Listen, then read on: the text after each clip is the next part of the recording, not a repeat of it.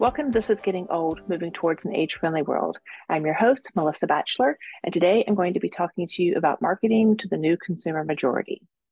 So, most people know that 10,000 boomers today are turning 65, and by 2029, all boomers are going to be 65 or older, and that milestone is just seven years away. And when I talk about older adults, most people think that I'm talking about the baby boomers. And while historically the boomers have always been the largest generation in the US. That changed two years ago when the millennials became the largest generation. And they started turning 40 two years ago, which, by the way, makes them old enough to sue for age discrimination in the workplace. So, the reason that marketers need to be aware of this is because there are now more adults over the age of 40 than children under the age of 18 for the first time in human history. They are, in fact, the new consumer majority. Also, adults age 50 and over control 70% of America's household disposable income, and they spend 51 cents on every dollar. But by 2050, they're going to be spending 61 cents per dollar. So in total, this group um, is projected to spend 84 billion annually just on tech products by 2023, and they're projected to contribute 26 over 26 trillion to the U.S. economy by 2050. So these statistics speak to the spending power that marketers may not be fully tapping into. So business as usual is going to need to change. And today I'm going to talk about some different ways to do that. And you may have noticed that the baby boomers are leading the way in reinventing the concept of older age. The problem is that most current media and marketing strategies aren't keeping up. Most portrayals of this group, either their images aren't included or the messages are not around healthy aging or aging well, which most of the uh, Americans over the age of 40 are doing.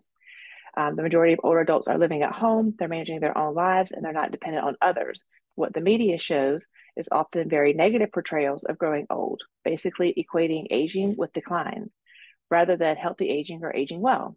So these negative stereotypes continue in media portrayals, and this is largely due to pervasive ageism in American culture. Now, some industries did take an interest in older adults um, very early. These include financial services, retirement housing, and healthcare, but all industries need to pay attention to the 40 plus if they want to maximize revenue. In the majority of national DEI conversations about all the different isms, ageism is usually the one that's most often left out, and it's a blind spot for a lot of people.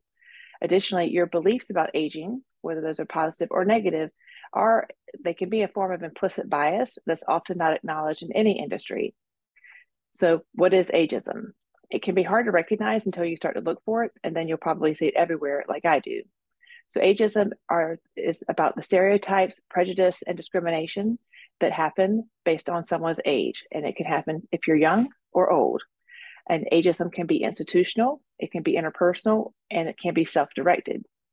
And ageist beliefs can actually impact the marketing um, teams, strategies that they use, particularly when most marketing teams are often under the age of 40 themselves. The average age of any marketing team is around 38.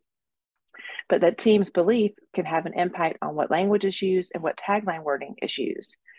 And um, they could influence what images are used. Are they do they use positive or negative images or videos?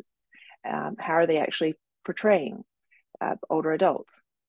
So actually, AARP did a study um, that found that while adults 50 and over make up 46% of the US population now, they actually only account for about 15% of images that are used containing adults.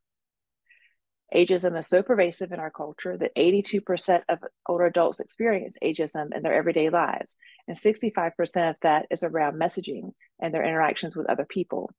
As a marketing team, your messaging matters. And so being aware of ageism is going to help to help you to effectively develop a, a marketing campaign for the new consumer majority. Information about ageism and how to develop non-ageist marketing campaigns for your largest consumer base may not be something that you've really encountered in your corporate world, but it's an important advantage to cultivate. And I don't know about you, but I love having every advantage over my competition. So marketers who learn how to translate this new concept of older age are going to have the opportunity to develop actionable advertising, promotion, public relation, and social media strategies that will have profitable results. So what should we do? Uh, first of all, older adults should not be viewed as a specific demographic. Uh, marketing to them is going to require a new kind of thinking and an alternative set of strategies. So anytime you market to an age demographic, it's known as age-based marketing, and it's generally exclusive. What I want to do today is make the case for ageless or age-inclusive marketing. Essentially, it's a way of marketing that includes people from all ages. So let's talk about some of the mis and misperceptions that marketers may have. Uh, maybe you think that older adults aren't streaming, that they're not engaged with social media, or that they're not gaming.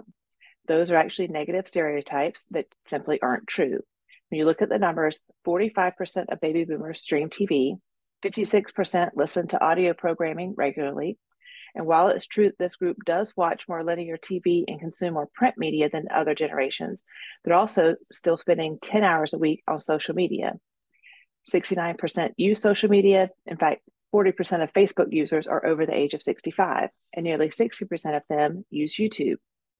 And when it comes to online or mobile gaming, over 40% of um, older adults use these regularly also. In fact, they spend 10% more time every day gaming than they do on social media. I've seen this play out in my own life because even my 87 year old grandmother has gotten into the game. She loves to play solitaire on her phone, and she even got herself a snazzy little pop button. So let's talk about a, a few other ways that advertising to older adults misses the bullseye. Um, Often this happens if the messaging focuses on how the product or service will help an older adult's daily living rather than showing how it actually would enhance their life. Um, most products and subsequent ads are then created from the perspective of a caregiver or they're targeted towards the adult child of the older adult rather than the older adult they're intended to reach. Marketers need to think about universal values, experiences, and emotions of older customers that are shared with all generations. So, in other words, not using so much technical um, data, but relying more on social behavioral science in marketing. So, have your teams explore their own ideas about aging and determine if there's any implicit bias that are that could be driving the marketing plan. In other words, um, beginning to recognize ageism for what it is and focusing more on ageless marketing strategies. So when you're developing an inclusive marketing plan, you want to make sure that you're um, representing a variety of genders and races, but just don't forget about being age inclusive. So now we'll talk about some specific strategies to think about when you're marketing to the 40 plus. So rather than using othering labels like senior citizen or the elderly, use titles that reflect their life role. So grandparents, uh, community members, teachers, volunteers. When you use words like senior citizen and elderly, it's actually been shown to um, increase negative stereotypes by 7% compared to using role based words and using words like older people or older adults. Make sure that your images are intergenerational. And when I say you'd focus on experiences, it's because a lot of older adults do consider themselves to be a work in progress and they're open to new experiences. Older adults want to learn new things, and this should not be underestimated. Another experience strategy includes um, taking an older adult to a place that they've never been before, but they've always wanted to go. Basically, checking something off their bucket list. And investing in and marketing to the grandparent economy is another great strategy for marketers to tap into. It's no secret that a lot of grandparents dote on their grandchildren, but you may not know that it was it's actually to the tune of about 179 billion dollars annually. 80% called um, of grandparents say that their grandchildren are a top priority. And one example of an industry that has tapped into this, into the grandparent economy, is actually the travel industry. Um, they have come up with a new term called gramping. It's a play on the word glamping, but in this case, it means grandparents and grandchildren taking bonding trips together while leaving the parents at home. And yes, you can sign me up for that. The next tip is to understand generational buying criteria. So you want to sell the product for what it will do for older adults and explain why they should want to use your product or service over the competitions. The next strategy is to design personalized consumer interactions that are easy for the customer. So you want to make sure that your websites and your apps, anything that makes that, that requires you to click on the fine print or symbol, you're probably going to lose a large portion of your audience. Make sure that your phones are answered um, for any questions that someone may have because good quality customer service has always been personal. The next tip is to use multi-channel marketing. So the number of older adults uh, that have smartphones is increasing. So in addition to digital marketing, use social media, print, and mailing strategies. You want to target the 40 plus both online and offline. The next tip is to use relatable language. So don't use a lot of teenage jargon or trendy language or internet slang. Slang. Older adults just want to know how your product or service is going to make their lives better. I actually have seen some really good ageless marketing campaigns recently. And so these companies are marketing to multiple age groups. Uh, for example, I was watching uh, Sunday Night Football the other day, um, and Chevrolet has a brand new commercial out for EV cars. So the images that were used um, in this particular commercial, they were uh, they covered both race and gender very well. But in this commercial, they actually included a lot of older adults, which they're usually left out. And the tagline was EV cars for everybody, everywhere. So the reason that this commercial is ageless is because the images were intergenerational. The experience of singing in the car is an experience that all generations have and enjoy, and it expressed the shared value of fun and happiness. And the words that were used and shown in the commercial, everybody everywhere, were inclusive. Another example um, is the uh, marketing campaign that I typically see when I fly American, um, and this one is by Marriott, and their is their their Travel Makes Us campaign.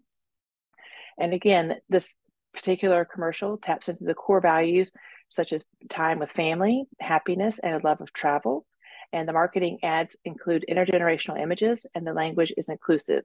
So it's age blind and value based. So if you're interested in learning more, um, there are a couple of resources. Um, there's a best practices for communication available um, by the Reframing Aging Project, and there's actually been a National Reframing Institute established earlier this year. You could also check your own implicit bias and that of your team um, through this project implicit quiz that's available on the Harvard website, and we'll include it in um, the description and the blog that goes with this podcast. So, thank you for joining me today. Um, I hope that you have found these tips and strategies for marketing to adult sporting over to be helpful. If you're interested in learning more or having a deeper conversation with me, with your marketing teams, I also do corporate consulting with marketing organizations, and I've worked with Marriott International, Apple, NASDAQ, and others in the past. So feel free to email me at melissabphd at gmail.com, and we can explore how we might be able to work together in the future. Thank you for tuning in to This is Getting Old, Moving Towards an Age Friendly World. I'm your host, Melissa Batchelor, and if you'd like to learn more, you can check out my other episodes on my YouTube channel by either by subscribing and ringing the bell to get immediate notifications when new content comes out. In addition, you can also find the audio version of the podcast on Amazon Music, Spotify, iTunes, and Stitcher. Please feel free to leave an honest review because more reviews mean more awareness of the podcast and helps us move towards an age friendly world.